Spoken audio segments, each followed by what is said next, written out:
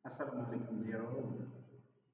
Here we are with another video of tech issues that you are facing and you are finding for the solution as well.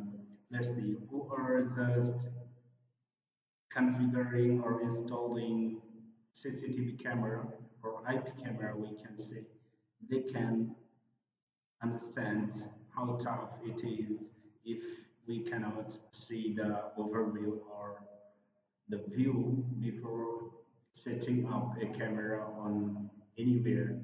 So let's see.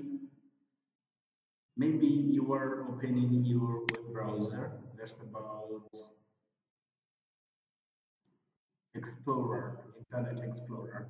But the problem is internet explorer is not opening here. And the thing is your edge browser is being opened so let's see how can we solve it without this one as we cannot see or hold the live view of our IP camera so just open your Microsoft Edge browser and go to the three dot option here.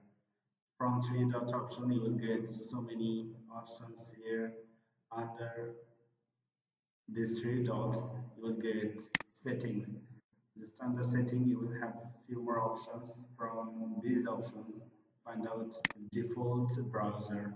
So here you can see Internet Explorer compatibility, make legacy sites work in Microsoft Edge as you can see the icon so whenever you are clicking on internet explorer it is redirecting and sending the request to open microsoft edge so here you can select internet explorer open site in microsoft edge just simply here you will see always recommended or it's maybe possible sites only incompatible sites only so Sometimes it is being selected that always are incompatible sites only.